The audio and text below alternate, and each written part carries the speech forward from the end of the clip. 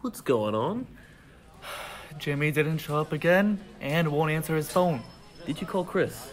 He's at his doctor's office and he isn't picking up his phone. I honestly don't want to call him. It's his first day off in over a month. Okay, well, Tyler's the only only option, so I guess I'll call him. Hey Tyler, I'm so sorry to bother you on your day off, but Jimmy hasn't showed up yet or answered our calls, and we open in 10 minutes. Okay, I'll be right there.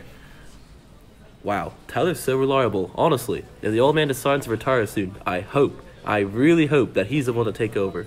I'm so sorry you guys got stuck out here. Let's get this going. Let's salvage what we have left of the day. Waiters, get started setting up in the inside area. The bus boys and I will set up in the outside area. Chef, what can I help with? I need you to bring out the patties from the freezer and then stock my plate finishers. All right, you got it, chef. Thank you so much, Tyler, for saving the day.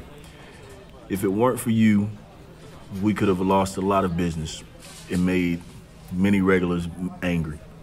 Thank you, Chris. Just doing what I can. Well, it didn't go unnoticed, and I really appreciate it. As soon as Jimmy arrives, you can go home for the rest of the day.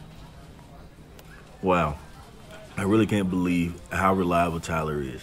He's such a valuable member of this restaurant. He obviously outperforms Jimmy in almost every way. This really makes Tyler move up on my candidates list. But I just want to keep it in the family. What am I going to do?